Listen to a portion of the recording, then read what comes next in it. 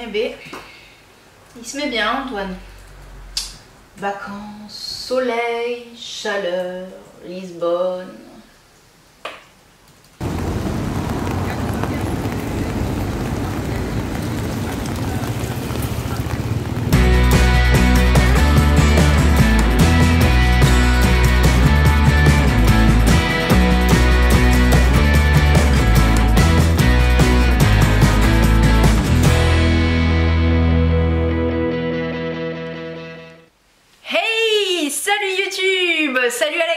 Salut Et salut Antoine sous la pluie T'as hâte de rentrer à Bordeaux où il fait 22 degrés et grand soleil? Bon, alors, euh, petite info avant de commencer les nouveautés. Le résultat du concours pour gagner Pessoa, c'est en fin de vidéo Eh oui Et oui, et en fin de vidéo, encore plus après le résultat du concours, il y a une méga avant-première de présentation de jeu de chez Matago qui s'appelle A Creature Comforts. Voilà, que je vous recommande chaudement parce qu'en plus c'est moi qui le présente. Voilà, euh, donc euh, je vous laisse euh, regarder toute la vidéo de préférence et ensuite aller à la fin de la vidéo. Ne me zappez pas s'il vous plaît. bon, en parlant de Matago, et ben, on va commencer dans le vif du sujet avec un autre de leurs jeux.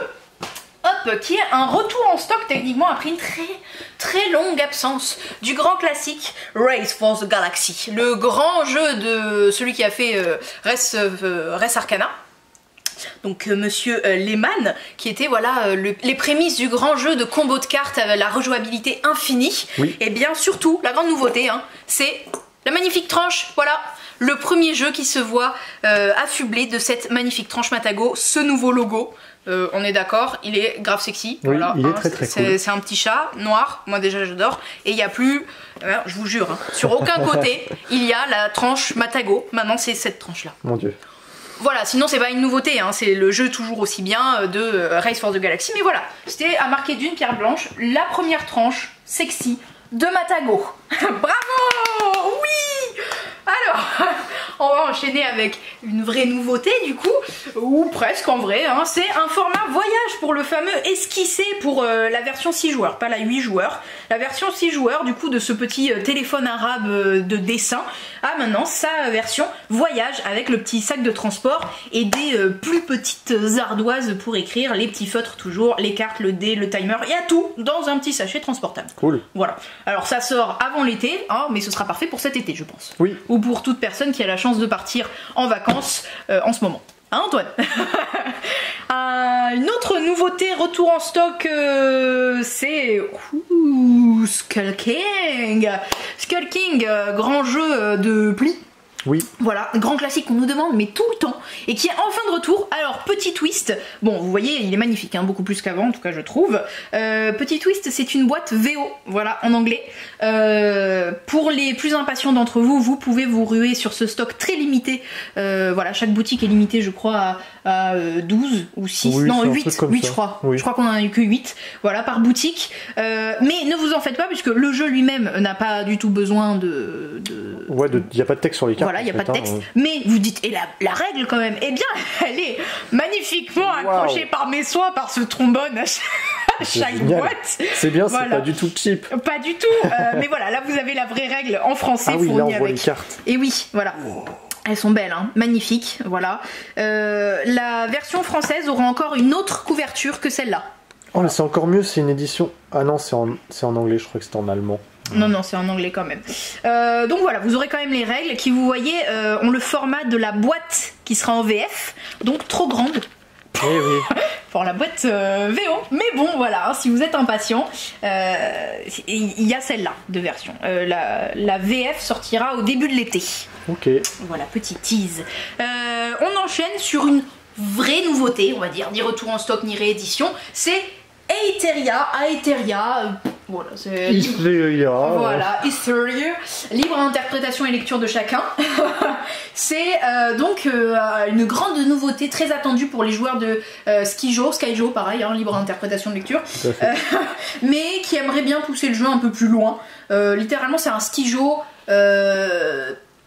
Bon, je, vais dire plus intéressant, mais c'est pas du tout objectif, mais Non, c'est sûr, voilà, pour, un pour un joueur, c'est un peu plus poussé, quoi. C'est ça, dire. ouais. c'est- Il y a un peu plus de combos. euh, Voilà. cool. Mais sinon, on y retrouve au final quand même la même fluidité et la Alors. même accessibilité que ce qui joue, je trouve. Quand même, le point fort, c'est les illustrations Oui, qui sont mieux que ce qu'ils jouent.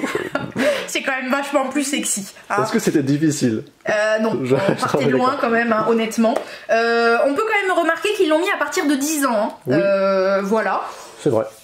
Dirais quand même à partir de 8 ans. 8 ans, ça, ça le fait Voilà. quand même. Surtout qu'il y a plein de petits modules de, avec euh, des niveaux de difficulté différents dedans. Donc euh, c'est adaptable. Et il y a un très bon mode solo, hein Alex? Voilà, Oui, ça, tout à ça fait. pense pour toi. Euh, 20 minutes de partie environ, donc par monsieur François Bachelart et euh, illustré par Emma Rakotomolala. J'adore. Oui. Et euh, Lucie Mercier. Voilà, alors on va rentrer dans les explications. Chacun aura une grille devant lui de 4 par 4 qui au début sera tout en face cachée sauf les 4 au milieu. Ok. Voilà, on va jouer avec euh, trois races, techniquement. Ouais, c'est ça. Trois Enfin, races plus les dragons. Ouais. C'est ça, hein. Du coup, il y a 4 races, non? Ouais. Il y a nain, elfe, humain et puis les gobelins quand même. Ah oui, c'est ça. Ah bah, ouais, les gobelins, on les renie toujours, voilà, mais je, ils sont je quand sais même pas là. compter où ils sont là, ils sont moches. Hein. Euh, bon, et bah 4 plus 1 dragon, qui est une espèce un peu particulière. Oui. Euh, le but, par contre, là, c'est de faire le plus de points, alors que Skijo, non. hein, euh, voilà.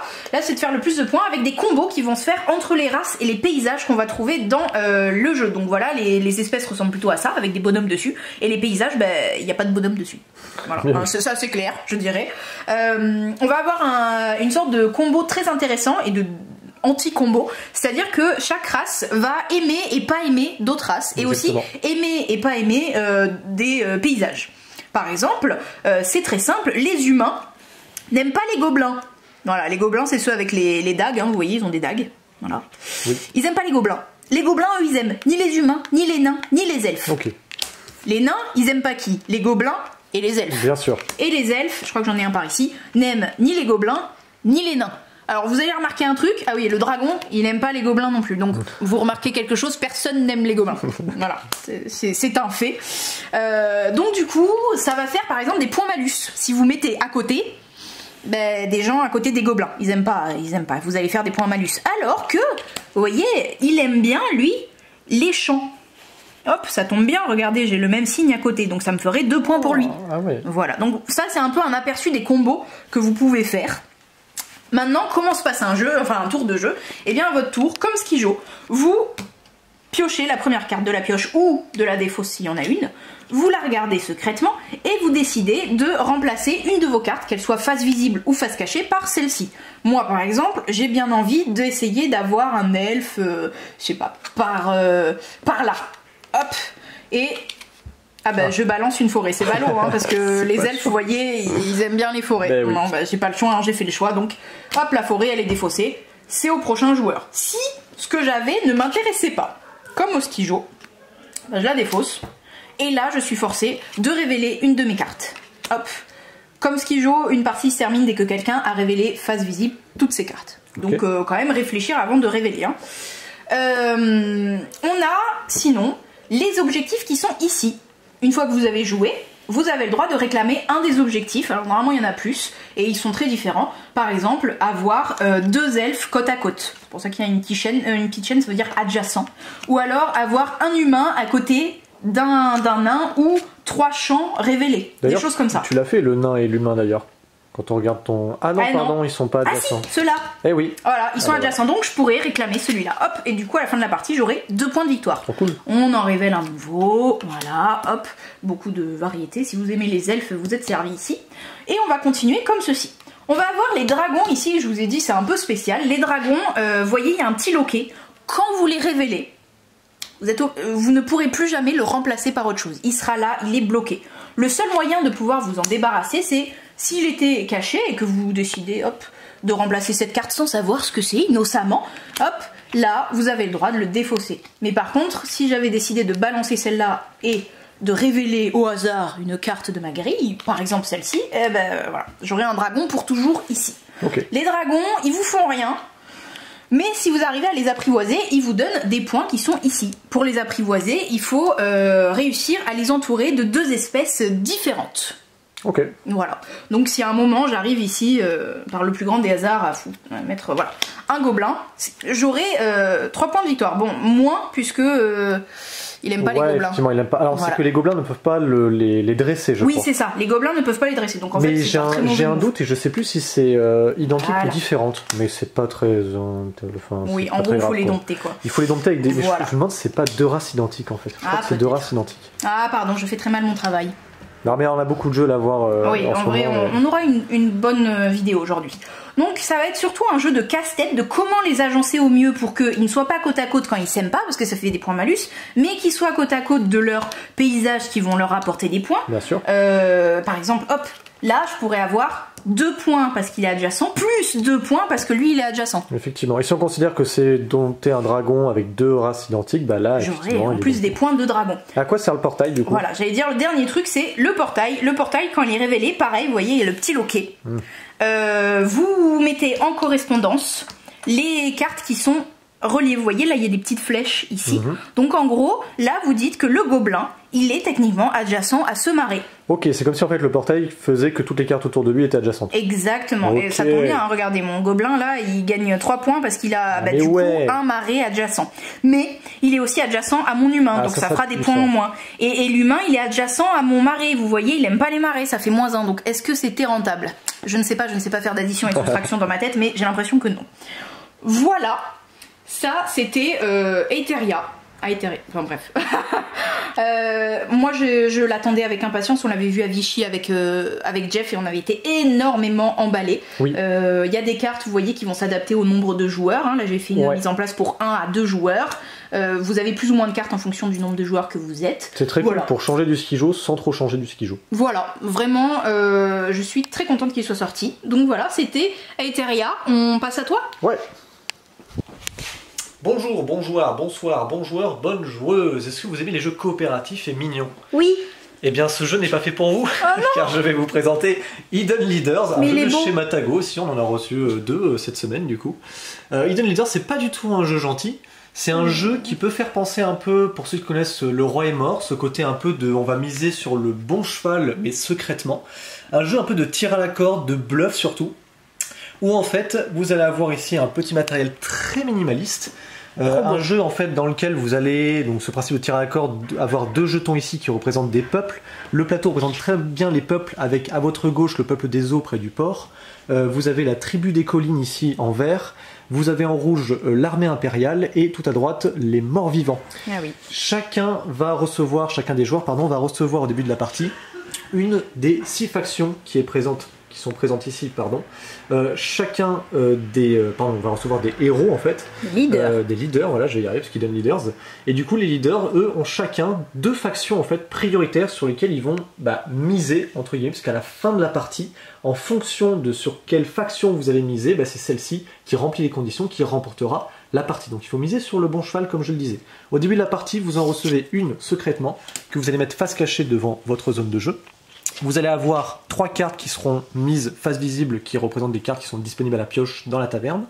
Vous allez avoir l'empereur enterré qui est ici parce que il est mort, effectivement. Il y a une lutte de pouvoir dans cette île qui s'appelle l'île Oshra, si je dis pas de bêtises. Et chaque joueur va se voir au début de la partie euh, avoir euh, pardon, 5 cartes en main. Il y en a une qui va mettre euh, dans la défausse, donc ce qu'on appelle la forêt, donc face cachée. Vous allez avoir une de vos cartes que vous allez mettre face cachée dans votre zone de jeu. Et le reste des cartes sera en main. Donc vous aurez trois cartes. À votre tour de jeu, c'est super simple. Alors déjà, la partie va prendre fin lorsque, euh, donc ça dépend du nombre de joueurs, mais ici lorsque 6 héros seront face visible chez un joueur. C'est important parce que les cartes face cachée ne comptent pas pour la fin de la partie. Ici, vous voyez, on a une fin de partie qui dépend à chaque fois du nombre de joueurs. 6 héros face visible à 5 joueurs, mais quand vous retournez les cartes, évidemment, ça change en fonction du nombre de joueurs. Voilà, donc ça c'est juste pour les petits détails de fin de partie. Votre tour de jeu il est récapitulé ici. Vous avez une première phase, vous allez pouvoir jouer une carte de votre main, la poser devant vous face visible et résoudre ses capacités. J'en reviendrai plus tard sur les capacités. Vous avez le choix entre jouer une carte ou bien défausser jusqu'à trois cartes, tout simplement. La deuxième phase consiste à piocher euh, des cartes, donc soit dans la taverne, soit Dans le port. Donc vous pouvez faire l'un et ou l'autre, comme vous le souhaitez, jusqu'à avoir quatre cartes en main. Une fois que vous avez 4 cartes en main, la troisième phase, c'est de défausser suffisamment de cartes de façon à n'avoir que 3 en main. Donc on vous laisse le choix quand même, c'est très cool. Et à la fin la quatrième phase, c'est de remplir justement les espaces, vides dans la taverne et euh, avec les cartes de port, pardon. Donc c'est à la fin spa au fur et à mesure. Hmm. Exactement, on ne remplit jamais, euh, on ne remplit que à la quatrième phase. Donc mettons c'est mon tour de jeu, par exemple je pourrais jouer un gobelin blasé, donc je le place dans ma zone de jeu, et vous voyez que... Exactement, c'est un gobelin blasé. Les illustrations sont juste magnifiques, l'illustrateur c'est euh, Satoshi Matsura, donc c'est très très bien illustré. Magnifique. Et du coup, ici, vous avez donc déjà beaucoup d'indices sur une carte. C'est que déjà, elle a un fond vert, c'est qu'il fait partie du coup de la tribu des collines. Donc, il jouera dans la majorité pour la tribu des collines. Et son effet, en général, est lié un petit peu à sa tribu. Ici, par exemple, il fait moins 2 sur la mer impériale. Si j'ai au moins une carte face visible, du coup, devant moi, dans mon équipe, ce qui appelle son équipe, de morts vivants. Il se trouve que j'en ai pas, en admettant que j'en avais une, voilà, comme ça. Je joue celle-ci. Je fais du coup moins 2 sur la mer impériale. Alors, qu'est-ce que ça veut dire ce moins 2 Eh bien, tout se Que passe ici. Souvent, quand vous allez devoir augmenter ou diminuer les rouges ou les verts, eh bien, ça se passe ici. Et du coup, là, je dois dim- diminuer pardon, de 2 le rouge, c'est que je le décale de 2 cases. C'est là tout le principe du tir à la corde. Pendant la partie, du coup, on va jouer des cartes qui va faire que, du coup, hop, ben, du coup, ça va se déplacer, ça peut se retrouver dans ce genre de situation. Et en fonction, donc à la fin de la partie, donc lorsqu'un joueur joue ici le sixième héros face visible, ça va instant- instantanément pardon, mettre fin à la partie. Et dans ce cas-là, en fait, on va révéler notre leader. Et en fonction, notre leader, bah, il joue sur un parti. En général deux. Et du coup, ça va, en fonction, déterminer du coup la fin de partie, en fonction du placement des différents pions. Je m'explique. Si jamais vous êtes dans ce genre de situation, hop, dans cette zone sombre, par exemple, donc là vous avez une zone sombre, c'est lié aux morts vivants. Et donc ici, c'est les morts vivants. Donc celui qui aura le plus de morts vivants, du coup, va gagner la partie. Si jamais vous êtes dans une situation comme euh, celle-ci, ici vous êtes euh, dans une situation où c'est le peuple des collines en fait qui va remporter la partie. Pourquoi? Parce qu'il est deux de cases devant le pion rouge. Dans ce genre de situation, c'est l'armée impériale qui l'emporte car elle est à au moins deux cases devant le pion des collines. Et si jamais vous êtes sur euh, des cases adjacentes ou sur la même case, c'est le peuple de l'eau qui va l'emporter. Et à chaque fois, la résolution, elle est faite avec mort-vivant, puis le peuple de l'eau, je crois, puis le peuple des collines, il me semble, et après c'est l'armée euh, rouge qui l'emporte. Donc c'est un jeu de majorité, de tir à la corde. Il faut bien jouer les différents personnages à la fois pour la présence que vous avez dans votre équipe, sur l'équipe sur laquelle vous misez, mais aussi sur leurs effets, parce que les différents effets sont très intéressants, permettent de défausser des cartes chez, les autres joueurs, chez vous, permettent d'enterrer différents personnages. Donc vous avez ici une défausse face cachée et ici un cimetière en fait où les cartes sont face visible mais seront enterrées, pas défaussées. Il y a plein d'effets de cartes qui sont très très cool, notamment des cartes qui peuvent euh, rebasculer des cartes qui étaient face visible, face cachée, ajouter justement, bah, faire avancer le pion de l'armée impériale ou le faire reculer, pareil pour la colline. Donc c'est un jeu d'ajustement et c'est pour ça que je le compare souvent au roi des, euh, au roi des 12, pff, rien à voir, Roi est mort. au roi est mort, parce qu'en fait vous avez cette sensation que à tout moment ça peut basculer, et notamment là le côté très frustrant, il faut faire hyper attention, c'est la fin de partie qui s'enclenche immédiatement lorsque l'un des joueurs a rempli la condition, c'est-à-dire avoir un certain nombre de héros face visible. J'espère que je l'ai euh, suffisamment bien expliqué et que du coup ça vous aura donné envie pour tous ceux qui sont fans également des jeux comme Oriflamme, comme euh, Love Letters, des jeux ultra simples à prendre en main, avec une grosse part de bluff, et avec cette tension qui est, qui est toujours très forte dans ce genre de jeu. Alors moi j'ai envie de euh, soulever quelque chose. Il y a Oui. une patate pirate. Voilà. Je, je trouve Oui. que c'est très notable quand même. hein. Effectivement, c'est une patate. Pirate. Pire. Ok, maintenant que j'ai dit ça, on peut passer à autre chose. Exactement. On va enchaîner ici avec un jeu que j'adore, sur lequel je ne fais que perdre et que rager. Euh, je m'adresse ici aux fans de League of Legends parce que je compare souvent Ouais. ce jeu-là à League of Legends parce que c'est carrément ça. J'adore ce jeu déjà pour son matos de fou, c'est Super Fantasy Brawl. C'est un jeu qui de base se joue essentiellement à deux mais qui peut se jouer à quatre aussi, en équipe il me semble. Moi je joue souvent à deux parce que je trouve ça vraiment très très tactique. C'est hyper malin Fantasy Brawl. On l'a reçu avec deux extensions qui en fait rajoutent des héros. Alors des héros pourquoi? Parce que Fantasy Brawl c'est avant tout un jeu euh, bah, un petit peu comme euh, effectivement euh, League of Legends, Dota en fait. Ici vous allez avoir chacun des joueurs va jouer trois héros qu'il aura sélectionnés au préalable. Au début vous faites des teams équilibrés puis après vous faites du draft évidemment. Et du coup chaque joueur va placer ses héros. Vous aurez différentes zones au centre qui souvent sont des objectifs à récupérer. Notamment, c'est des zones plutôt à contrôler. Les objectifs, ils sont sur le côté du plateau, c'est des petites cartes de trophées, et le but, c'est de gagner 5 trophées. Les trophées, en fait, ils sont sur le côté, ce sera une piste de progression, on le voit sur la piste qui est ici.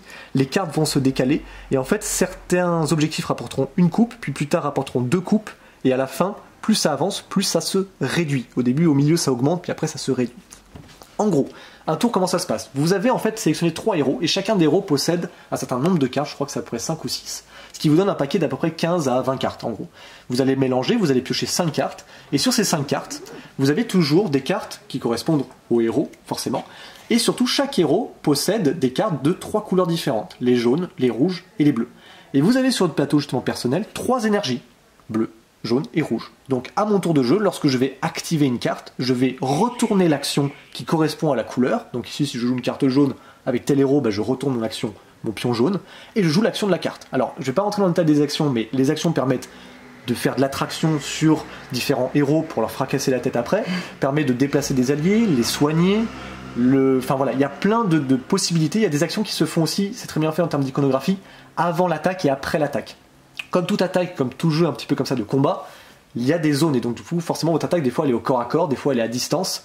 Évidemment il y a des persos qui sont un peu plus fourbes, il y en a un que j'adore qui s'appelle Wrath, je crois, qui est dans l'extension, qui est un, petit, fourbe en fait. Il arrive, il vous tape, puis il se casse après, il creuse des tunnels en fait, c'est hyper fun. Et donc du coup vous allez avoir à chaque fois trois actions possibles, et du coup une fois que vous avez joué vos trois actions, bah du coup ce sera à l'adversaire de jouer. Vous avez des cartes qui sont très malines, notamment quand le joueur vous attaque, vous pouvez toujours riposter à condition d'avoir une carte de défense en main, chaque héros en a une, mais ça vous coûte de l'énergie, et ce qui fait que si vous jouez une carte pendant le tour de l'adversaire, vous aurez dépensé une énergie que vous ne récupérez qu'à la fin de votre prochain tour. Donc comme vous aurez joué une carte au tour de l'adversaire, vous aurez une carte en moins au début de votre tour. Je rentre pas trop dans les détails, mais l'idée c'est quand même de posséder 5 coupes. Les coupes, vous les remportez avec des objectifs qui sont en général de contrôler des zones soit adverses, soit l'une des vôtres, soit celles qui sont au centre entre la jaune, la rouge et la bleue. Vaincre un héros également, donc quand vous tuez un héros, il sort du jeu, il est hors jeu, il pourra revenir plus tard. Ça fait également gagner une coupe. Notamment quand un héros tue un autre héros, ce héros devient héroïque, du coup vous le retournez de son autre côté et il devient un peu plus puissant, il a une petite capacité supplémentaire. Les héros sont géniaux, c'est très asymétrique, notamment par exemple lui c'est le nain. Le nain il est fou parce que c'est un, pur provocateur. Il va attirer les gens, il va les assommer, du coup les joueurs ils pourront plus bouger. Vous avez d'ailleurs au centre du plateau des petits pièges qui vont s'enclencher quand vous rentrez dedans, donc c'est intéressant parfois de faire des effets de pouce pour les pousser dans un piège et se prendre plus de dégâts. C'est hyper fun, c'est très tactique, ça reste très accessible, c'est un jeu quand même de combo de cartes et de figurines. C'est franchement Super Fantasy Brawl si vous ne connaissez pas. Intéressez-vous-y parce que franchement ça vaut le coup. Là, ici, on a la boîte de base. Et on a réussi à voir les deux extensions ici, hop, qui rajoutent deux nouveaux personnages. Donc ça, c'est un de mes préférés, c'est Wrath. ah, c'est lui le fourbe. Ouais, lui, il arrive, il creuse des tunnels, il te tape et après, il se casse plus loin. C'est très cool. Le Phoenix c'est top aussi parce qu'il a un effet spécial qui permet de se régénérer. Donc quand on pense l'avoir buté, le mec il dit bah non, en fait, il revient. Elle est très stylée, la dame là. Hein. oui, elle est horrible aussi, elle. Ah, elle, est stylée. Très sympa. Lui, il est à distance, il est très cool aussi. Bref, Fantasy Brawl, c'était la petite vidéo. Est-ce qu'on est bon au niveau temps Oh, largement. Ah bah parfait. Bah on va passer sur un petit jeu. On va continuer sur Praga. Les gens disent Léger. Praga, c'est un petit jeu de cartes. Oui, bien sûr, regardez. Ouh. Caput Regni. Exactement, de Vladimir Sushi ou Vladimir Soré, je sais pas ah comment on dit. Euh, Praga, c'est un énorme jeu. Alors, je le mets dans les nouveautés parce que nous, c'est nouveau à la boutique. Je sais qu'il est sorti un peu plus en amont, mais on n'en avait pas commandé et je ne savais pas où le trouver. Je l'ai vu euh, chez deux fournisseurs différents, donc je l'ai pris chez Atalia. Je trouvais, euh, j'ai trouvé très riche dans un jeu où en fait peut intéresser les gros, gros, gros, gros joueurs. Donc là, je vais pas oh trop, trop. Voit, hein. Ouais, je vais pas m'attarder trop sur le jeu, mais globalement, c'est un jeu assez historique sur la construction de Prague, justement. Et en fait, vous allez avoir plein de choses à faire. C'est un gros jeu de gestion de ressources avec de la connexion de tuiles. En fait, chaque joueur au début de la partie possède une tuile euh, qui ressemble à ceci, en fait, sur lequel il va juste juxtaposer différentes tuiles qu'il va récupérer en haut à droite de son plateau. Et en fait, quand vous récupérez une tuile, ça décale la roue. Et du coup, les tuiles vont avoir des coûts différents et notamment des gains différents. Donc, quand vous prenez une tuile, vous offrez des possibilités aux, adversaires. Donc, hyper attention. Les tuiles dessus, elles ont des actions bonus que lorsque vous les posez, vous allez pouvoir les réaliser. C'est un genre de jeu où en fait, vous avez une action de base. Et en prenant cette action de base, vous créez une action bonus qui superpose une action bonus, qui va se faire une action bonus, qui va créer une action bonus et qui vous donnera une action bonus. Ça fourmille d'actions bonus dans tous les sens. Mais la mécanique est simple, c'est de récupérer entre autres une tuile pour récupérer des ressources. Des ressources, il y en a, on va dire globalement 3-4. les deux principales sont ici, ça va être l'or et la pierre de mémoire, qui fonctionnent sous forme de roues et qui, lorsqu'elles vont tourner pour indiquer combien vous en avez, vous avez des petits crans en fait qui vont se bloquer pour vous indiquer que lorsque vous dépassez un certain cran, vous aurez un action bonus. Donc je reviens sur l'action bonus justement. Donc c'est essentiellement l'or et la pierre. Une autre euh, ressource importante pour la construction du pont que vous avez aussi, parce que vos petits bonhommes ils vont se balader ça sur les remparts, et quand ils vont atteindre le pont, ils vont pouvoir construire différentes tuiles à condition de payer des œufs. Alors ça paraît bizarre parce que Les bon, on se dit mais pourquoi les œufs? Parce qu'en fait historiquement ce pont-là il a été construit apparemment, la légende raconte, qu'il a été construit à base d'œufs en fait lorsqu'ils ont créé le, le, le- comment on appelle ça, le mortier je crois. Euh, pour créer en fait le, le- ce qui va consolider le pont en fait. Voilà. C'est ce que Je vérifierai sur Wikipédia. c'est la légende qui raconte. Je ne sais plus euh, historiquement où est-ce qu'on se situe, si c'est un, c'est du Charles Charles IV apparemment. Voilà. Donc euh, voilà, quand Charles IV. Là, par exemple, c'est le mur de la faim que vous allez pouvoir aussi construire. Donc historiquement, le mur de la faim, il a été construit apparemment parce que les gens crevaient de faim et donc pour leur donner du travail, on leur a dit construisez un mur. Ils ont fait ah bah ouais c'est cool, on a un travail et du coup on peut manger. Voilà. Donc là, par exemple, vous allez construire le mur de la faim. Je rentre pas trop dans le détail dans ce genre de jeu parce que je sais que ça s'adresse à des joueurs qui ont déjà regardé en amont des vidéos comme euh, les, les jeux de Chaps ou euh, d'autres vidéos qui sont très euh, portées sur l'explication de jeu et je crois que la vidéo de Chaps c'est dure au moins une heure pour l'explication de ce jeu là Ouais. il rentre dans le détail c'est très cool. Mais moi malheureusement je vais pas pouvoir le faire. Je vous dis juste euh, gros joueur joueur averti ce jeu est potentiellement fait pour vous. Sachez que c'est un jeu qui fourmille l'action bonus et que du coup à chaque fois que vous faites une action et ben vous en avez 4000 en fait à côté. Voilà. Donc essayez de gérer tout ça au mieux. Euh, gros jeu de gestion de ressources par grâce, j'en ai fait justement pour satisfaire les joueurs avertis et les gros joueurs de gestion de ressources dont je suis moi aussi fan, mais malheureusement, ils ne vendent jamais le temps avec. Ça, c'est Hmm, malheureux. c'est clair. On peut continuer sur un autre jeu? Hmm, oui, tu as un quart d'heure chrono. Ça va, ça va aller. Ça va, hein. Je vais essayer de faire très vite, mais on a Ne reçu t'étends également- pas, Alex, Euh, non. on sait que tu t'étends. On va essayer de faire très vite, mais c'est sur Gutenberg, Ah. un jeu qui a fait forte impression. je me devais de la faire. Alors, Pourquoi? C'est un jeu de Radza. C'est un jeu de cet homme, euh, donc Radzerna Tioch. Je suis Désolé, je, je vois pas. En plus, l'écriture me paraît pas très lisible. Et Muse Sneak Sneak Sneak, je sais pas. Je Bon, bah c'est monsieur, voilà, je Voilà. les filme de près. Un jeu qui a eu le Seal of Excellence. D'ailleurs, je l'ai pas dit, mais le jeu tout à l'heure, Praga, avait eu le Seal of Approval. Ça, c'est pour la chaîne de Tom Vassal. Hi, folks. Hop. C'est- C'est, on, on fait quoi comme métier? Alors, euh, comment on appelle ça? On est des pionniers de l'impression. L'imprimerie. De l'imprimerie. Ouais, mais l'imprimerie, c'est de l'impression. Bon, bref, laissez-moi tranquille. Un jeu dans lequel, en fait, on va essentiellement avoir des mécaniques de euh, programmation d'action parmi 5. En fait, euh, le but, c'est de réaliser des commandes. Les commandes sont représentées par ces deux cartes qui sont deux catégories différentes. L'impression ici avec les lettres, que vous pourrez récupérer durant la partie en les achetant, sachant qu'au début, vous en avez 3 et que chaque autre lettre coûte euh, autant que le nombre de lettres que vous avez. Donc du coup, si je veux acheter une quatrième lettre, ça me coûte 4, la cinquième lettre coûte 5, etc. etc. Et ici, en dessous, vous avez le côté, euh, comment ils appellent ça, la, la finition en fait.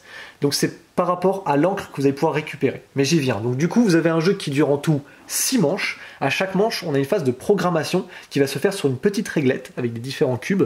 Et plus vous mettez de cubes dans une catégorie, plus vous serez premier à faire l'action.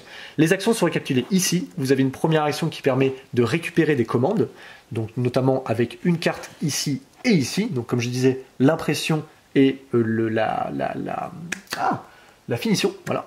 Euh, vous allez avoir aussi l'autre action possible, c'est de récupérer de l'encre. La première est gratuite, puis les autres vont coûter euh, de l'argent.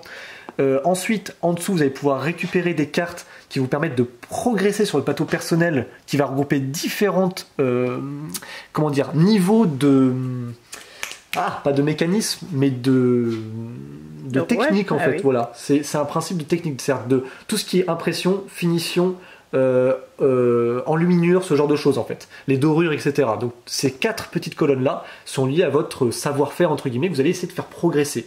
Euh, plus vous le faites progresser, plus vous aurez d'ailleurs de petits bonus, un petit peu comme dans Praga, on a des petites actions bonus à chaque fois. Une autre action possible, c'est de récupérer des rouages. Les rouages sont hyper intéressants parce qu'ils vont alimenter votre plateau personnel. Vous allez pouvoir en avoir trois au maximum. Lorsque vous les placez, vous allez avoir une action bonus qui sera liée en fait au à la à l'arc de cercle qui est légèrement euh, Coloré, là. blanc ici, Ouais. coloré en blanc ici.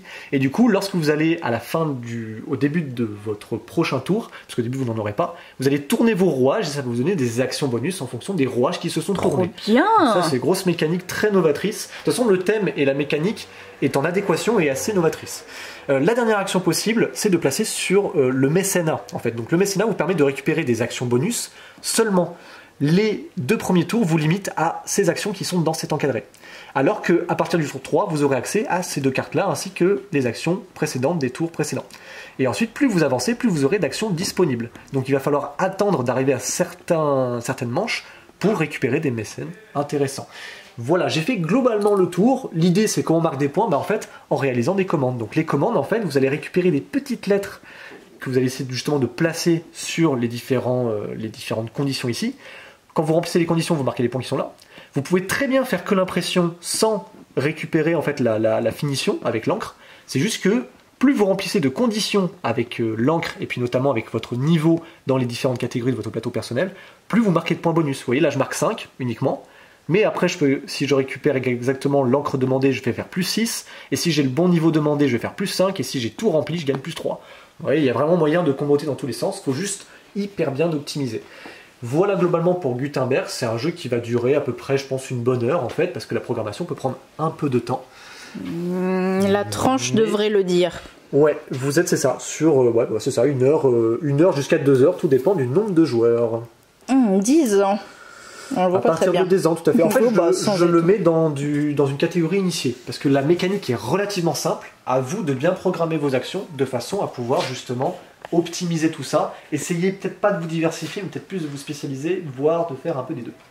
Voilà pour Gutenberg. Ok, il est l'heure euh, de changer de carte mémoire, parce que Allons-y. sinon nous allons être coupés. Changeons.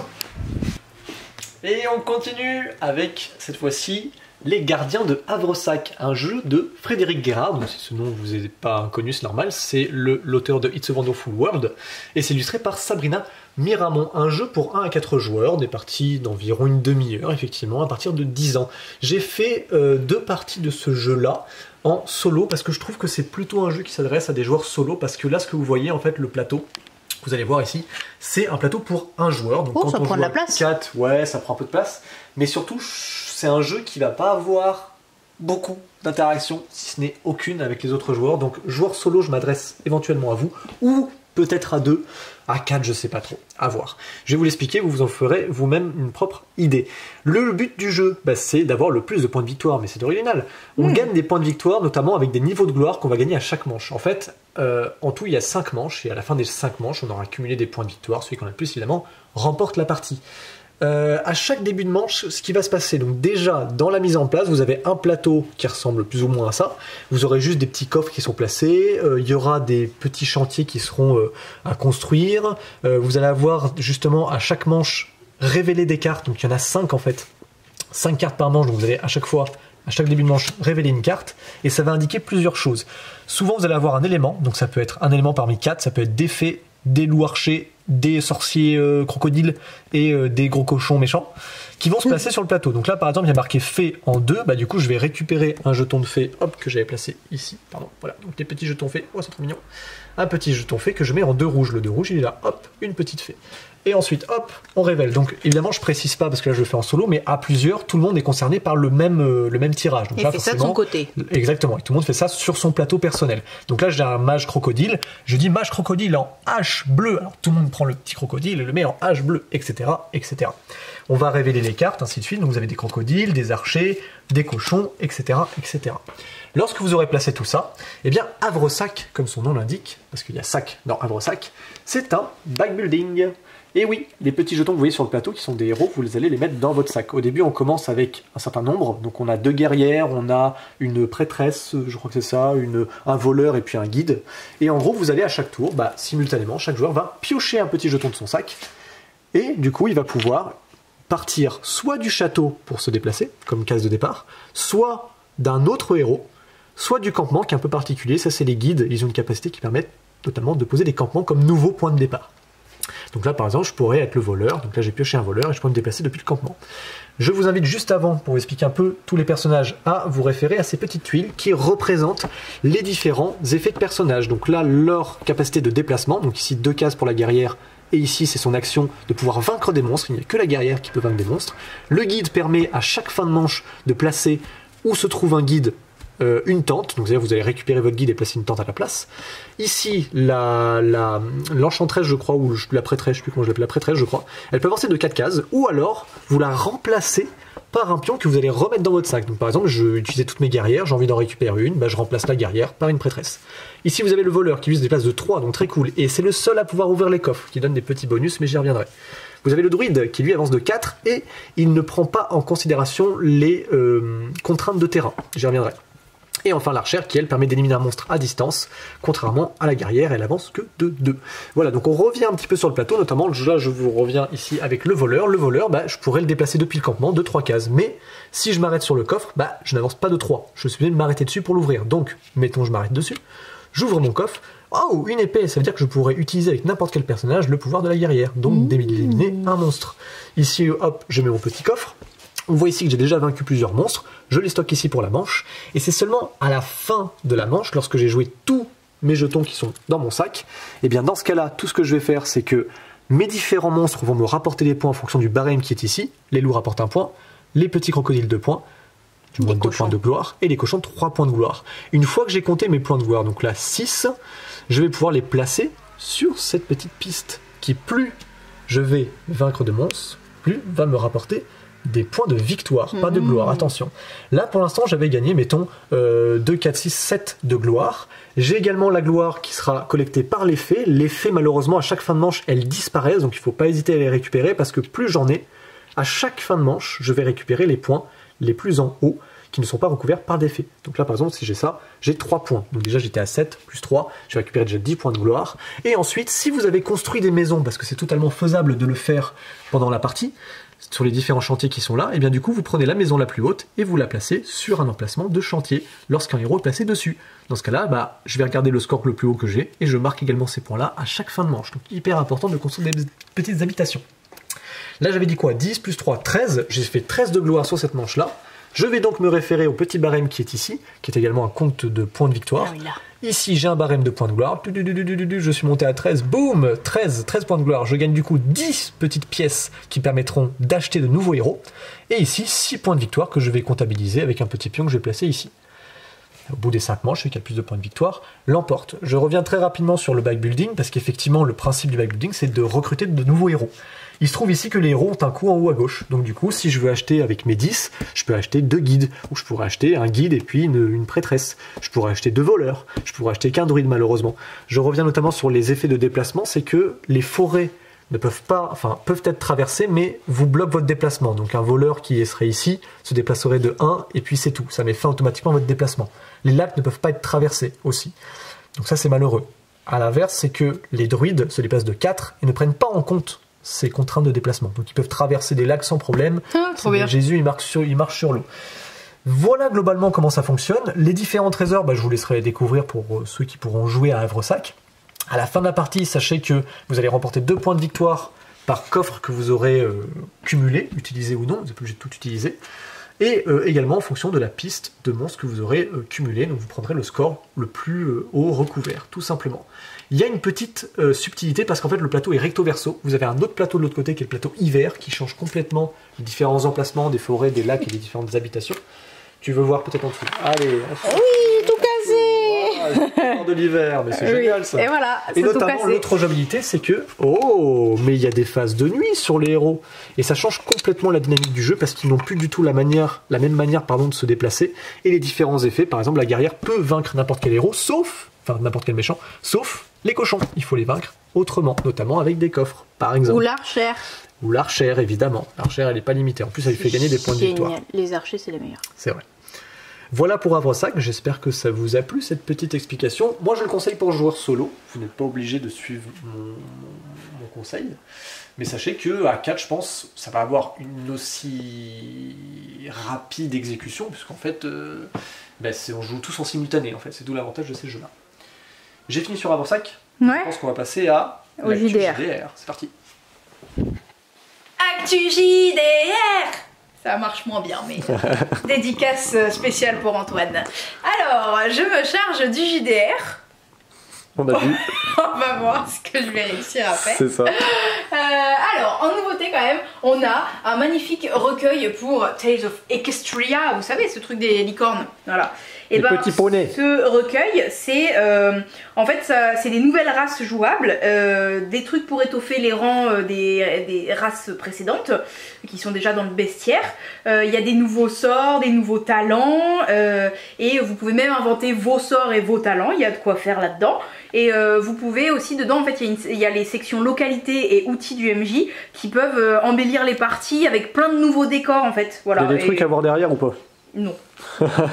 voilà. D'accord. Il y a rien du tout. Après, je peux vous l'ouvrir Oui, pour que vous voyez un On peu. veut hein. feuilleter un peu. Antoine, il nous fait feuilleter. Oh, gna gna, désolé. hein.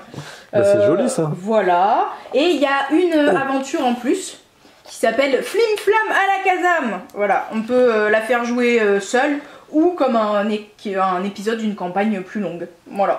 C'est euh, fait exprès pour utiliser le nouveau contenu euh, de, de ce recueil, quoi. Voilà. D'accord, très bien. Voilà. Parfait. Ça, c'était Tales of Equestria. Hop là. Je remets. Hop. Et un supplément pour Shadowrun. euh, le, ce- ça va faire mal, c'est. euh, Feu nourri. Feu nourri, voilà. Ouais. Euh, en gros, c'est euh, euh, un supplément de règles de combat pour Shadowrun 6ème édition. Voilà. Hop, derrière, il n'y a rien non plus. hein, je peux vous montrer. voilà, il y a un monsieur euh, un peu moche avec des tatouages classe. Voilà, mais je vais le feuilleter avec vous. Voilà. Donc, euh, hop. C'est euh, pour surmonter euh, un peu toutes les épreuves des combats. Euh, ça fait en fait des nouveaux traits, des nouvelles armes et techniques pour, euh, pour euh, parfaire les compétences des Shadowrunners. Voilà. Hop là il y a des pistes pour développer les personnages euh, euh, selon l'éthique, ça c'est voilà euh, qu'ils se donnent et euh, la violence à laquelle ils sont confrontés. Voilà. Des nouvelles expériences et péripéties. Hop, euh, Très bien. voilà. Je sais pas ce que je vous fais feuilleter, hein, je fais au pif. Voilà. J'ai vu J'espère que vous avez différentes, vu des, euh, des belles images. Technique de combat, kickboxing, jujitsu. Parfait. Là, je crois que c'est bon. Euh, oui, je crois qu'on est Voilà. bon. Juste, tu peux faire un focus sur euh, le retour en stock de Wurm. Ah oui, c'est juste à ça. Voilà. Il y a toute la collection de Wurm qui est de retour. Euh, Oui. je, je sais même pas si ça c'est. Alors ça c'est pas le livre de base, ça c'est un supplément de mémoire. Le livre de base il doit être un peu plus à droite si je dis pas de bêtises. C'est quoi C'est les terres ancestrales Le cristal Ouais. d'orage? Non, ça c'est un. oh, mais c'est n'importe quoi. Qu'est-ce Oui. qu'ils font Ah voilà, c'est lui non? Oui, tout à Voilà, fait. ça, c'est la base. ça, ça c'est Mais la voilà, base. bon, euh, le jeu dans euh, cette préhistoire, un petit peu magique quand même, hein, préhistoire avec. bah, Attends, mais non. C'est pas ça Mais je le trouve pas là. Bon, écoute. Il, bon, il y a toute voilà. la collection, je Toute jure. la collection de Wurm est revenue. Voilà, sachez-le. C'est juste qu'Antoine n'est pas là et qu'on ne comprend rien. C'est espèce de, de truc avec des pages. Qui a joué à celui-là J'y ai joué, je n'ai fait qu'un one shot Ouais. sur. euh, Et ben en parlant de one shot, magnifique transition, merci. Euh, ça c'est euh, la petite collection là des des 12 singes, Euh, c'est dans la collection des vies antérieures, c'est ces one shot un peu. Euh, et ben là, ça vous rajoute dans votre campagne de, vie antérieure Oui. euh, la vie peut-être une vie antérieure de Hannibal. C'était voilà le célèbre tacticien carthaginois qu'on appelait le seigneur des éléphants. Donc voilà, waouh magnifique. Je vous montre du texte. C'est génial. Ah, il y a un petit peu d'images là. Je préfère les images moi, parce que le texte. Ah, il y a une image Ah, bah, hein, du seigneur des éléphants. c'est un éléphant. Voilà. Bon ben voilà. hein. Actu JDR fini. L'imposant euh, pack de Unlock qui a beaucoup voyagé dans cette boutique depuis qu'on l'a reçu. Il était à l'entrée devant la caisse. Il est ici pour l'instant. Peut-être qu'il y restera. Voilà, c'est très imposant. C'est comme ça vous voyez bien l'offre. C'est que euh, pour euh, une euh, boîte achetée ici, dans cette offre ici, donc il y a le 5, 6, 7, 8, je crois. Ouais, je crois que c'est ça, ouais. Non, 4, 5, 6. Bon, en tout cas, il y a cela. Ouais.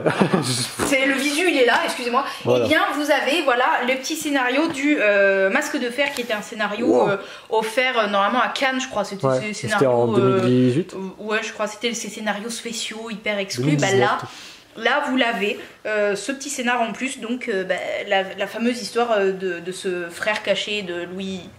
Louis XIV, 14, tout à fait. L'homme au masque de fer. si vous n'avez voilà. pas vu ce film, regardez-le avec DiCaprio. Ah, c'est un film? Oui. non, mais c'est aussi une vraie histoire, tu sais. Oui, euh, je connais l'histoire. bon, on La enchaîne. légende. Voilà, ça c'était l'offre. On enchaîne, on enchaîne loin. Non, pas là, là. Voilà. Ah, smart. Smart. Oh. Le magnifique, le merveilleux jumping, la compétition. Alors vous allez me dire oui, c'est pour les filles, nanana, c'est pour les Pas du chevaux. tout. Pas du tout. Voilà, je l'ai déjà vendu à un petit garçon euh, tout à l'heure, il était à fond. L'équitation, c'est pour tout le monde. Voilà, hein, je le dis, j'adore l'équitation. Bref, euh, jumping, la compétition, euh, toujours 1. voilà, c'est la gamme Smart pour un joueur à partir de 7 ans. Et toujours avec les, euh, les défis avec différents niveaux. Tout, tout, Ok, tout, donc là c'est du parcours en fait. C'est du parcours. Alors, on va prendre un exemple. Je sais pas quel exemple avait été mis en place. On va Euh, prendre. C'était un niveau moyen, je crois. Oui, bah tu sais quoi, euh, pour pas me ridiculiser dans cette vidéo, je vais prendre le challenge 5. voilà. Alors, normalement, on enlève tous les morceaux du parcours. d'accord. Voilà. Oh là là, je fais du bruit. Très bien. Et là, vous voyez, me- ma petite cavalière va commencer au repère T. Alors, il est où le repère T? Il est là. Regarde. Ok, ça c'est le, le vois? c'est le repère T. Voilà. Hop, on met la petite cavalière ici. Et on doit finir au W. Il est où le W? Il est là. Hop, petit W. D'accord. Hop, donc je mets Oh, l'arrivée. C'est génial. hein. Hop, et pour ce parcours, je devrais forcément utiliser l'obstacle F, qui Puis est E. orange, puis E. Hop, je les mets là. Et enfin le A. Forcément, ils devront être dans cet ordre-là sur le chemin. Mais je suis pas obligée de commencer à les poser dans cet ordre-là. Je peux poser par exemple le A. Moi j'aime bien commencer depuis l'arrivée. Parce que vous voyez là, je filme mon magnifique exemple.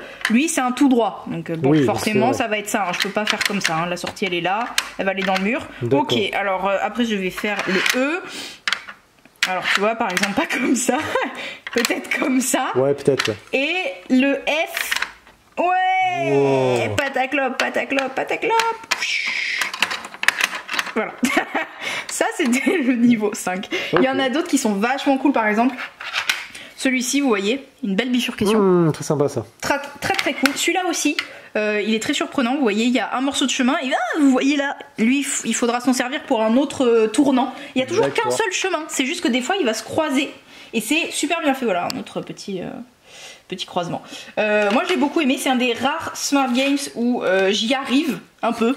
Ce- voilà. Oui. Je vous présente des smart games, mais je suis vraiment un gros caca pour les euh, casse-têtes. Voilà, mon commercial a même une magnifique vidéo de, moi en train de galérer sur des jeux pour 6 ans. C'est mon honneur qui est en jeu.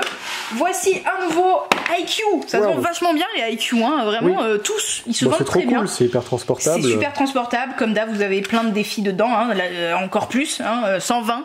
Là-bas c'était 80. Oui. Voilà. Dans ce petit livret, très transportable, vous voyez, hop, vous fermez, et voilà. Et Oh, c'est cool. transportable.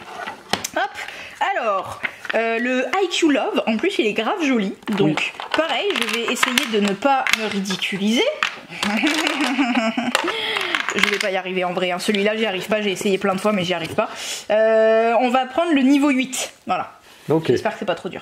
En gros, le niveau 8, euh, plus ça va avancer, et moins vous aurez d'indications en fait. Mais là, il vous indique déjà une mise en place de base. Donc déjà, rien que ça, moi j'ai du mal. Hein, voilà. Euh, je crois que ça se rentre comme ça. Voilà. Euh, non. Voilà. Alors, j'espère que vous passez un très bon moment à me voir galérer. Yes Pas Tu du tout. veux aider Alice à remplir le cœur? Mais comment ça... Ah oui, c'est comme ça. voilà, ça, ça arrive, hein, promis, j'arrive. Voilà. C'est comme ça? Oui, c'est comme ça. Et... Ça rentre pas Mettez dans les commentaires. Dites-nous. Dites à Alice Ah, comment c'était comme faire. ça. voilà, ça c'est ma... Et maintenant, je dois me débrouiller pour rentrer ces dernières Oh cases. mon dieu. Et je te jure que je vais Là, pas y vous arriver. pouvez partir, hein, c'est bon. Oh, euh, dans une heure, elle aura pas jure. fini. Je te jure, je On va couper la vidéo. Bref, voilà. Voilà, comme ça, ça rentre. C'est parfait. Regarde. oui, voilà, je me suis euh, ridiculisée, c'était le niveau starter. et donc, j'avance dans les niveaux et vous voyez qu'à la fin, hop, ben, vous avez Wow. que un qui est indiqué, le reste vous débrouillez. Ah, c'est chaud là. Là, c'est chaud, hein. Voilà, bah, c'était IQ Love. Il y en a d'autres des smart. Euh... euh, Oui, peut-être. Alex, Oui. ma mémoire. Ah bah non mais oh mais attends ça on a ça on a plein de trucs en fait. Oui, ça, c'est juste les petits livrets de vacances qu'on aime bien. Après Voilà. juste euh, nous les montrer genre rapidement quoi. ah Bah, ouais bah voilà gruyère partie. Il y a Gruyère. Party, euh, il Le y a. corail, le truc enchanté. Le corail, on l'a depuis longtemps. hein. Eh, mais il y a plein d'IQ aussi, c'est génial. Ceux-là, on les avait depuis longtemps. Ouais, Euh, le Six me dit rien du tout, mais le Twist non plus. Mais c'est c'est cool, c'est la gamme des IQ. Ah oui, euh, le Six, je l'ai vu. Euh, en fait, vous allez devoir le faire en 3D. mais Voilà. C'est trop bien. Non, mais c'est cool. hyper dur. Il y a En vrai, c'est super dur. Digit avec les numéros, c'est trop Ouais. bien. Hop, Qu'est-ce qu'il y a d'autre? Ça, c'est Logic Quest. celui-là, il part vachement bien.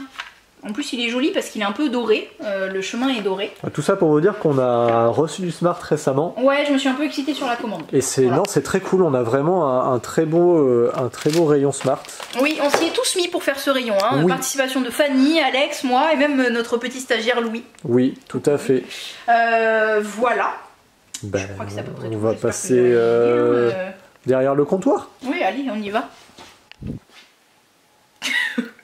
Pour vous montrer une magnifique, accessoire, un petit, euh, voilà, un petit plus. En fait, c'est pour euh, montrer euh, bah, à quoi ressemblent tous nos Dragon Shield, donc les classiques, les mattes, etc. Donc vous pouvez même les toucher, c'est hyper stylé. Voilà, pour vous rendre compte vraiment de qu'est-ce qu'il y a à l'intérieur, puisqu'on ne peut pas ouvrir les boîtes puisqu'elles sont filmées. Voilà, donc vous avez ce magnifique collier que vous pourrez nous voir porter à la boutique et que je vais garder pour la fin de cette vidéo. Euh, sinon, le derrière le comptoir, on va commencer par l'aventure euh, Pokémon, voilà, avec Fulgudog. Ils sont vraiment très créatifs pour les noms en Eh ce oui. moment. Fulgudog, le coffret. Voilà, avec une grosse carte. En vrai, il est mignon et surtout lui, hein, euh, voilà. C'est une sorte de mouton avec des petites mèches sur le côté.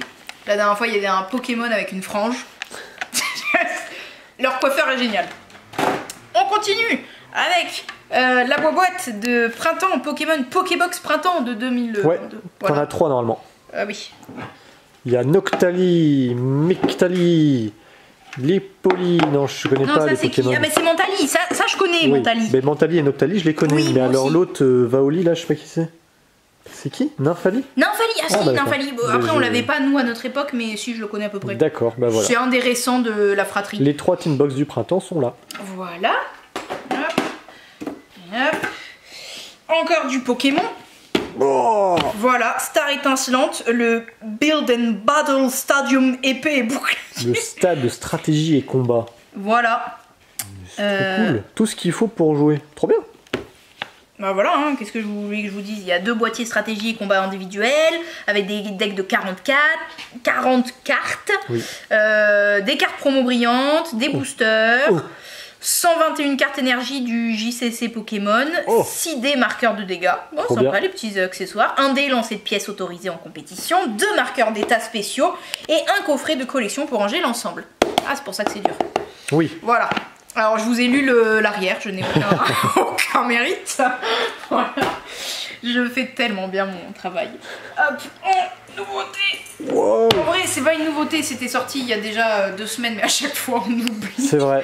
Voilà, euh, charlatan de Belcastel, la méga box. Dans cette méga box à 64 euros, excusez-moi, vous avez quand même le jeu de base, plus l'extension Les Sorcières Semaines, plus l'extension Les Alchimistes, c'est-à-dire toutes les extensions qui existent, plus le jeu de base, au prix du jeu de base plus une seule extension. C'est énorme. C'est quand même vachement rentable. hein. Moi, quand ils m'ont montré ça à Cannes, je suis ah bah sympa, c'est sympa. Voilà, cool. je, je vous montre quand même le dos. hein. Oui, ça peut se servir aussi de plateau fromage. Tellement la boîte est grande. Ah oui, bah au moins là. Plateau euh, apéro complet. Apéro ça. dînatoire, je pense. voilà. Punaise. On va mettre là. Alors, un petit retour en stock quand même. hein. Euh, voilà, la petite gamme des euh, Oui. pour une nuit crépuscule. Voilà. Des fait. loups et des vampires. Euh, voilà, hein, la petite gamme de, bah, des loups-garous avec application, c'est ça hein, Ouais. Ils mettent du jeu. C'est ça. Voilà. Hop. Et le dernier petit retour en stock que j'aime beaucoup. Hibashi, Le jeu de euh, Paris, adresse de Pichnet et de collection de ressources pour faire des petites euh, recettes. Euh, voilà, vous avez un plateau comme ça immense avec des jetons de poker avec des valeurs que vous allez essayer de pitcher pour qu'elles rentrent dans les bols des ingrédients que vous voulez avoir. Voilà, pour faire des recettes. Oh, c'est grave cool en vrai. C'est très très cool. Donc voilà, Hibashi qui est de retour en stock. Yes. C'est bon, C'est j'ai bon. fini. Ouais, mais bon, tu sais ce qu'on attend, nous. Oui, alors, euh, Eh bien, je me coiffe tous les matins, voilà, c'est et puis je me mets de la crème, voilà. Je Non, vouliez- c'est pas ça qu'on Non, attend. On ma- veut le résultat du Ah. concours. Je veux savoir qui a gagné Sinon, Pessoa. euh, si vous voulez, euh, vous me demandez en commentaire ma routine du matin et du soir, j'ai tout un truc. Le gagnant de Pessoa, ou la gagnante, la, pe- la personne qui a gagné, euh, là, Mais oui, il s'affiche actuellement sur votre écran. Ouh, tout, tout, tout, félicitations Bravo à toi Euh, comme d'habitude, euh, si euh, tu n'es pas dans le coin, eh bien, tu peux nous contacter par mail, par appel, euh, par, euh, euh, par Facebook, Oui. par Instagram, pour nous donner toutes tes coordonnées pour qu'on t'envoie ta magnifique boîte. Et sinon, eh bien, passe à la boutique hein, et dis-nous ça directement, pas dans les commentaires de YouTube parce que ça se perd un peu. Oui. Directement en, en conversation Oui, privée ou messagerie privée, appel. euh, Voilà, voilà. Mais manifeste-toi parce que bon, sinon. euh, Ben oui. euh, c'est une boîte perdue, quoi, c'est triste. Mais bien, bien joué, bravo, félicitations. Euh, en vrai, vous avez tous trouvé Antoine parce que vous savez tous utiliser Google et Wikipédia. bravo. Et après, c'est le tirage au sort qui a, qui a fait le reste du travail. Et oui. Et encore euh, un autre truc, eh bien, euh, on se retrouve euh, pour la petite présentation de euh, Creature euh, Comfort. C'est parti. Hey, on se retrouve pour ce focus sur Creature Comfort. C'est euh, une future sortie de chez Matago que j'attendais déjà avec grande impatience dès que j'avais vu le, visuel. hein. Vous vous doutez bien, je suis une, euh, fan de Everdell, alors ça, euh, tout de suite. Et ben, on a eu le plaisir d'y jouer en méga avant-première et ça ne me déçoit pas du tout. Et Alex non plus, et Antoine non plus. Donc, c'est un grand oui pour Comfort, Creature Comfort. Je vais quand même vous le présenter, hein, à part vous dire que c'est génial, je vais essayer de vous le prouver. Donc ici, on a le plateau, voilà. On a chacun un petit plateau avec son type d'animal, parce que nous allons incarner, donc voilà, chacun a son type de maison. On va chacun incarner une petite famille d'animaux de la forêt qui allons nous préparer pour l'hiver en bah, aménageant et décorant notre petite chaumière de la meilleure manière pour que eh bien, on, on fasse face à l'hiver de manière confortable dans le pur cocooning. Ce thème n'est pas merveilleux déjà? Voilà, on va créer sa, petite maison parfaite. Donc on aura les petits hérissons, là on a les petits lapins, les petits écureuils, les petits renards, les petits ratons laveurs et c'est cool parce que tous ils ont une maison qui peut s'adapter. Vous voyez ça c'est l'écureuil, ben leur maison elle est dans un arbre. Eh oui, hein. Et ça, ça c'est les renards sous un buisson. Et puis voilà, bon après je vais pas tous les décrire parce qu'en vrai je sais pas exactement dans quel euh, environnement euh, chaque animal habite. Donc, on va récupérer euh, des ressources dans nos beaux vergers pendant 4, non 3 saisons, printemps, été, automne. Et euh, chaque saison, ça c'est la petite particularité, va être composée de plusieurs manches en fait. Donc il y a des sous-manches dans les manches. Euh, ça c'est adaptable à la durée de partie que vous voulez faire. Vous allez enlever plus ou moins de cartes euh, aux saisons pour que ce soit plus ou moins court. Donc ça déjà c'est quand même un point euh, cool à noter. Et euh, on va récupérer donc ces ressources dans nos vergers et au marché, etc. pour pouvoir construire, tricoter, cuisiner des cartes qu'on va retrouver ici. Voilà, donc euh, il y a vraiment de tout, hein, des petites décos, du miam miam, euh, des vêtements. Et on va aussi pouvoir améliorer un peu notre maison. Vous voyez là, j'ai fait une petite remise ou une girouette parce que c'est très important pour faire face à l'hiver, une girouette. Donc ça, c'est un peu tout ce qui va euh, se passer sur le plateau. Maintenant, on va rentrer en détail dans un tour. C'est très très simple. On va chacun avoir ici deux dés qui s'appellent les dés de famille, qui sont accordés à la couleur de notre, euh, eh ben, couleur de joueur. On va tous lancer nos dés de notre côté. Et on n'a plus le droit de toucher à ça. Ça va être nos dés pour la manche. On les pose sur notre petite maison pour bien s'en souvenir, c'est bien rangé. Et là, tous en même temps, alors pas, c'est pas rapide ni désordonné, hein, c'est juste que c'est simultané. On va poser nos quatre petits ouvriers, euh, on va pas appeler ça des ouvriers, nos quatre petits membres de notre jolie famille, sur les différents lieux qu'on va pouvoir trouver dans ces cercles ici. Vous voyez, il y en a plein. C'est un jeu de sigles hein, principalement et ils sont assez clairs. Après, de toute façon, il y a toujours le livret de règles qui va vous expliquer chaque euh, sigle. Donc, on va avoir principalement euh, les zones dans les vergers qui sont là pour les ressources. Clairement, c'est ça qui va être les cartes euh, euh, saison et qui vont virer au fur et à mesure de chaque manche. Donc, pour cette manche-là de printemps, ce sera des champignons, du bois, des pommes, euh, de la laine et des petites histoires qu'on va pouvoir récupérer. Ici, petit twist, intéressant. À chaque saison, vous aurez une ressource qui est introuvable. Par exemple, au printemps, impossible de trouver du blé. Vous attendez pas à trouver du blé à cette saison. Voilà. Donc ici, vous allez pouvoir poser un de vos ouvriers. On n'a jamais le droit d'en poser plusieurs de notre euh, type à nous. Par contre, on peut être plusieurs joueurs sur un même endroit. Ça, il n'y a pas de limite. Je vais pouvoir me poser euh, ici, on va dire. Là, c'est ce qui va me faire accéder, eh bien, peut-être à des améliorations de ma maison.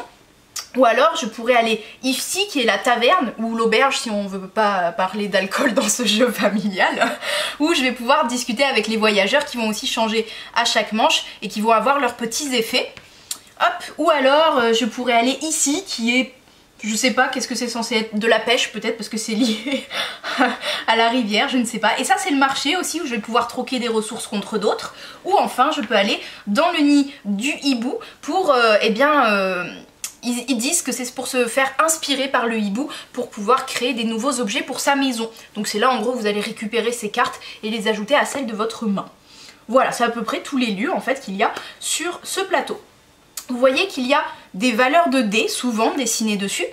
Hop Et ici aussi par exemple. Eh bien c'est parce que vous placez vos, vos ouvriers, vos petits membres de famille, mais vous n'êtes pas sûr de pouvoir remplir les conditions. Ici, quand on fera la phase d'activation, je gagnerai ces deux champignons que si j'avais un 4.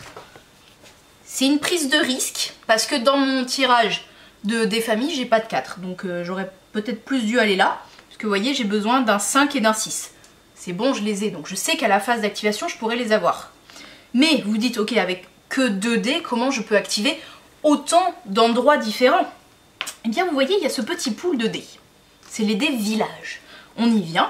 Donc ceci, c'était les dés familles. Tout le monde les a jetés et tout le monde s'est positionné sur les différents endroits.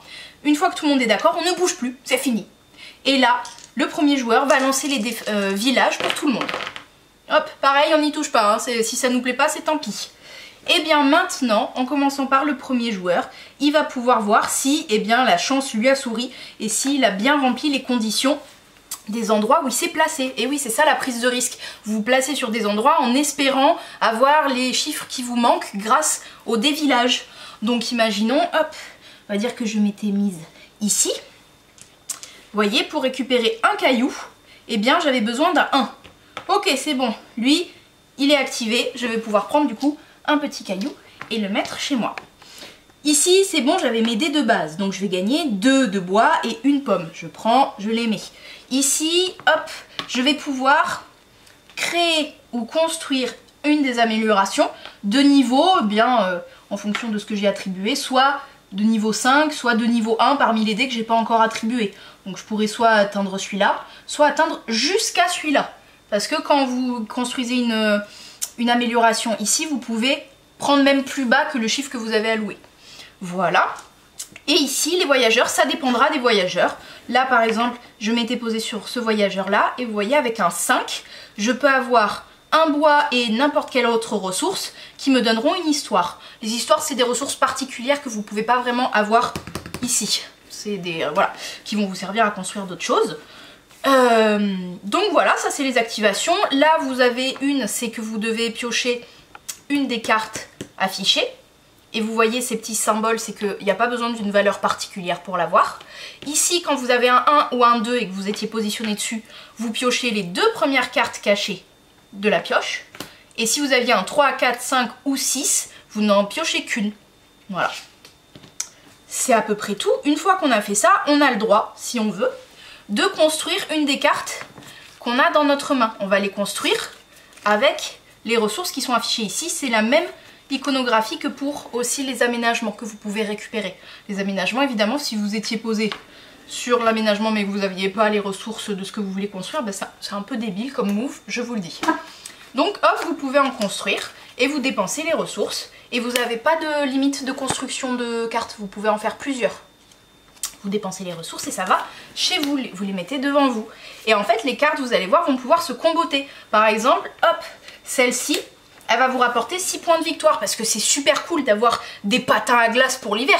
C'est grave marrant. Mais en plus, vous aurez plus de points si vous avez des chaussettes. Et ça tombe bien, dans ma main j'avais des chaussettes.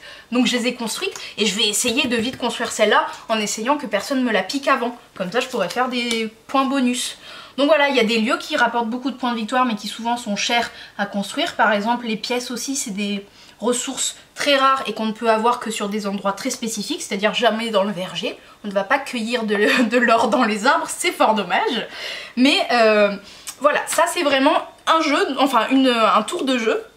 On lance nos dés euh, de famille, on place nos ouvriers tous en même temps et après on lance les dés villages et on active chacun nos tours euh, nos différents endroits. Si on n'arrive pas à activer, parce que c'est une prise de risque, vous vous souvenez, si bah, on est sur un endroit, il n'y a aucun dé qui nous correspond, par exemple ici c'est un peu dur, il faut deux dés qui s'additionnent et qui font un 8.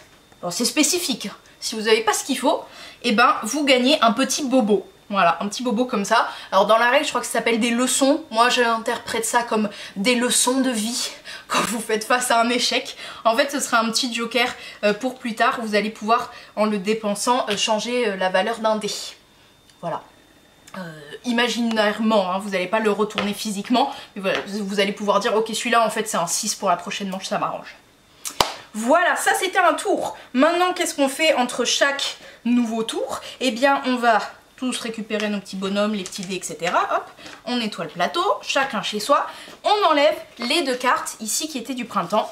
On a encore des cartes printemps ici. Là, par exemple, on va commencer. Ça, c'est l'été, par exemple. Hop. Et enfin, vous aurez, je vais les trouver, l'automne qui ressemble à ça. Donc voilà, vous enlevez juste les deux euh, euh, vallées qui sont en jeu. Vous enlevez le voyageur qui va en révéler un nouveau. J'avais oublié de le spécifier, mais les voyageurs, en plus de vous donner des pouvoirs avec des chiffres, vont tout de suite, vous voyez, dès qu'on le révèle, immédiatement, il va avoir un effet. Voilà, pour euh, tout le monde. Donc ça, c'est ces trucs cool aussi. Euh, ensuite, on va tourner cette petite roue qui est ici. Vous voyez, il y a des petites encoches. Et eh bien, vous tournez de, hop, de un cran ici. Donc maintenant, ce sera plus les mêmes valeurs qui donneront les mêmes ressources. Et enfin, vous défaussez la carte la plus à, euh, la plus à droite. Non, moi c'est ma droite, mais vous c'est votre gauche. vous décalez tout et on en fait une nouvelle. Donc attention, voilà, moi je visais grave les patins à glace, ils sont partis avant que je les récupère. Et on va faire pareil pour les aménagements ici. Le plus bas s'en va, on décale tout vers le bas et on en met un nouveau. Voilà, et maintenant on repart pour un nouveau tour. Donc voilà, vous connaissez tous sur euh, Comfort Creature, je crois même que j'ai fait carrément le tour de toutes les règles, je crois pas en avoir oublié, ou très peu, euh, voilà, comme vous pouvez le constater, les aménagements aussi auront des pouvoirs, il y a même des endroits qui vont s'appeler des vergers et qui sont des endroits où vous pouvez poser des ouvriers, les autres ou vous, et qui vont vous donner des, euh, pouvoirs, donc vous voyez là, n'importe quelle valeur vous aurez deux pommes, mais bon, généralement le propriétaire de ce verger, qui aura mis, sa petite maison dessus, gagnera des avantages si vous venez visiter son verger à lui. Les maisons, j'ai oublié de le dire, mais vous voyez sur votre plateau de joueurs, vous n'en avez que 4 et ça se pose sur les aménagements. Ça veut dire que vous ne pourrez avoir que 4 aménagements maximum dans une partie. Et en fonction, normalement vous le faites dans l'ordre contrairement à moi, hop vous enlevez la première ici, et au fur et à mesure que vous en construisez, vous voyez à la fin de la partie, vous pourrez gagner aussi des petits points de victoire. Voilà, là vraiment je pense que j'ai rien oublié du tout. Je vous ai raconté tout le jeu. Donc, eh bien maintenant on va en venir à ce que euh, j'en pense. Je sais pas si ça vous intéresse, mais bon, je vais vous dire quand même deux trois mots. Je vais peut-être enlever ma petite capuche de lapin. Euh, bah, j'adore que Comfort Creatures parce que le thème était trop trop cool et, euh, il est bien porté et c'est hyper familial. Euh, Alex le comparait à un H de pierre mélangé à un Everdell et je suis carrément d'accord avec ce placement d'ouvriers, récolter des ressources pour construire des choses, mais avec l'univers tout mignon des petits animaux de la forêt. Voilà, ou aussi, bah, comme dans Everdell, vous avez aussi des ouvriers à placer, récupérer des ressources pour construire des choses. le grand twist hyper intéressant, c'est cette prise de risque avec les dés, vous tirez vos dés famille et après vous vous placez en ne sachant pas encore ce qui va sortir avec les dés villages et en espérant que vous aurez les chiffres pour remplir les conditions de, là où vous serez placé. Et ça c'est vraiment le gros twist et ça peut être très frustrant mais super satisfaisant. Et euh, c'est ça qui fait que pour moi c'est un jeu famille, alors famille plus, mais quand même moins complexe par exemple que Everdell Mais euh, ouais, niveau âge de pierre en fait finalement, famille plus. Donc euh, moi je trouve que c'est vraiment très réussi, c'est très très beau et, j'aime beaucoup l'univers. Donc euh, on a hâte que ça sorte. Donc je vous dis à bientôt chez Jeux des Bordeaux.